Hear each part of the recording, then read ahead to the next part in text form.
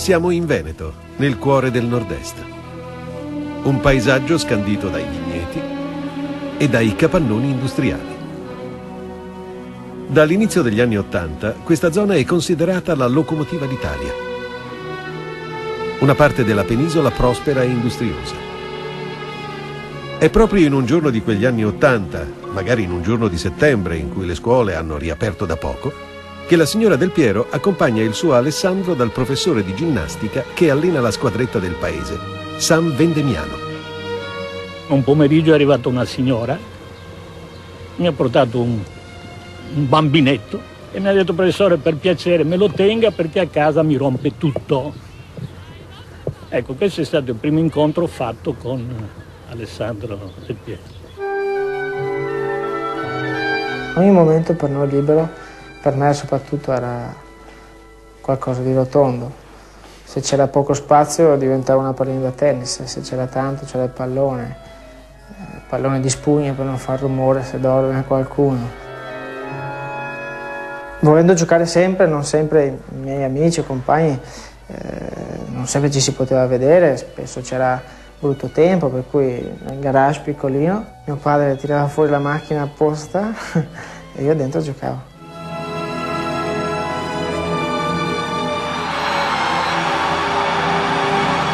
Intanto madre natura ha fatto quello che fa una volta ogni 10.000, ogni 1.000, non lo so, la statistica, dare quelle doti di essere un asso, un campione.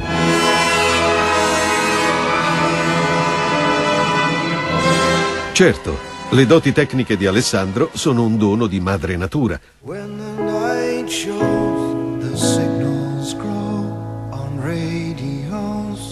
Ma sono state affinate in ore e ore di interminabili partite nella vigna dietro la casa dei Del Piero. Mi ricordo una sera con suo papà che era qualche serata, che stavamo lì fino alle 10, quelle serate estive a luglio così, fino proprio al buio quasi.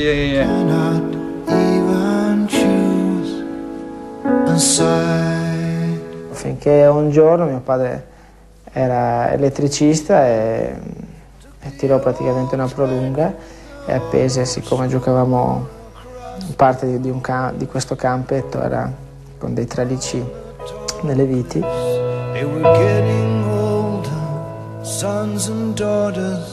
Posizionò tre lampadine e in poche parole noi avevamo il campo illuminato, ci sembrava un, una cosa da, da da partite di Coppa Campione.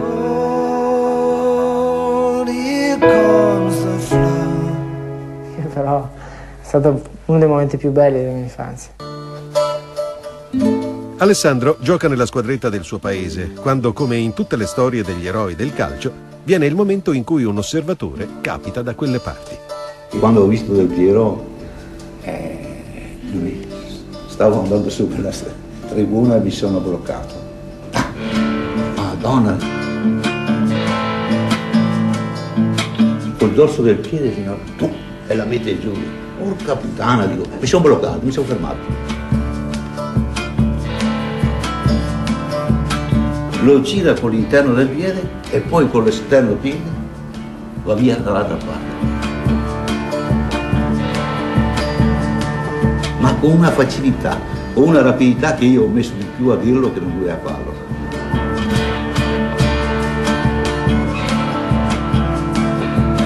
Vittorio Scantamburlo, ex giocatore del Padova, costretto a lasciare il calcio giocato a 24 anni per un infortunio, è colui che per primo ha creduto in Alessandro Del Piero.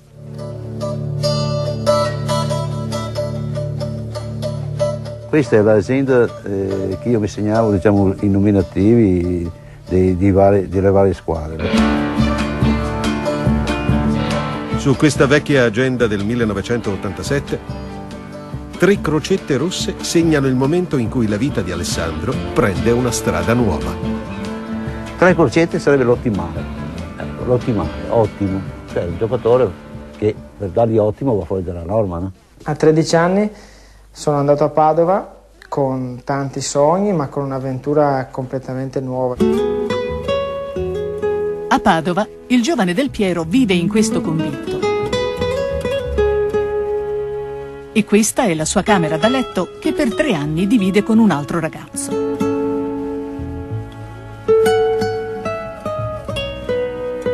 Tutte le mattine va a scuola.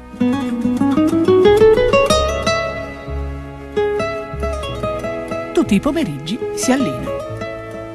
Ancora adesso, ma soprattutto prima ero timidissimo, quindi spostarmi in tutto e per tutto con la scuola, con compagni di squadra, affrontare una situazione totalmente nuova di vivere da solo insieme ad altri ragazzi nella mia stessa eh, situazione a 13 anni è una situazione, ecco, un momento delicato è stato. Il momento delicato dura poco. Del Piero, stop, tocco, tiro e palla sul palo. Di categoria in categoria, il bambino timido continua a incantare. A soli 16 anni è già considerato il gioiello della squadra primavera del Padova. Batte del Piero. E ancora una grande deviazione questa volta. Quali sono le vostre prospettive in questo torneo? Ma noi è la prima esperienza eh, che facciamo. La fama del giovane Del Piero si spande rapidamente nel circondario. Le televisioni locali si interessano a lui Del Piero Alessandro punta a 16 anni. e i loro pittoreschi conduttori cercano di strappare al campioncino qualche prima dichiarazione. Quanti gol hai fatto finora? Finora 29. Di certo non ho potuto divertirmi come, come un altro. Per divertimento intendo uscire tanto con gli amici o altre, però non ho patito questo perché il mio divertimento era il campo. Un divertimento che diventa presto lavoro. Nel 1992 Del Piero fa il debutto in prima squadra in Serie B. Al 26esimo eh, Sandreani mette in campo Del Piero, giovane dell'Under 19. E non è ancora finita, al quarantesimo è proprio il giovane Del Piero a siglare il quarto gol sul passaggio di Galderisi. Noi lo chiamavamo Bomberino. Gli avevamo, metto- gli avevamo affidato questo nomignolo perché credo che rispecchiasse un pochettino la sua eh, capacità di realizzare, ma anche la sua simpatia, la sua così, eh, delicatezza nell'inserirsi in prima squadra. Giuseppe Galderisi è un calciatore esperto e prende Alex sotto la sua ala e il bomberino cresce in fretta. Del Piero, buona azione di Del Piero, va Del Piero, entra in area di rigore, attenzione Del Piero, tiro e grande giocata di Del Piero. Ma Galderisi non è importante solo per i consigli che dà in campo. Ha giocato nella Juventus per diverse stagioni e ha mantenuto i contatti con l'ambiente bianconero. Mi ricordo che in un amichevole qui a Padova, eh, sia Trapattoni che, Boni, che Boniperti mi chiamarono e vollero sapere completamente tutto su quello che era il, il ragazzo, innanzitutto, perché questo era un po' lo stile Juventus, e poi il campione o il potenziale campione sul, sul, sul rettangolo verde.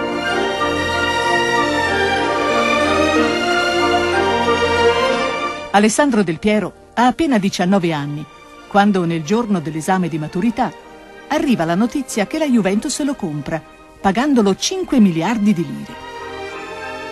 Arrivavo ad una Juventus che, eh, per la quale avevo tifato davanti alla televisione o che, che avevo visto fino al giorno prima in televisione. Ho visto Baggio, Vialli, eh, Müller, Köhler, eh, ce n'era una sfizia. E intanto gioca nella squadra primavera. Ed ecco ora rallentata l'azione di Del Piero, lo splendido assist, il colpo di tacco per l'inserimento di Cammarata che scarica il sinistro e batte il portiere della Fiorentina Dei. Il cross e c'è calcio di rigore per intervento di Cozzi su Del Piero. Vince il prestigioso torneo di Viareggio contro la Fiorentina. È suo il gol decisivo sul rigore alla fine dei tempi supplementari.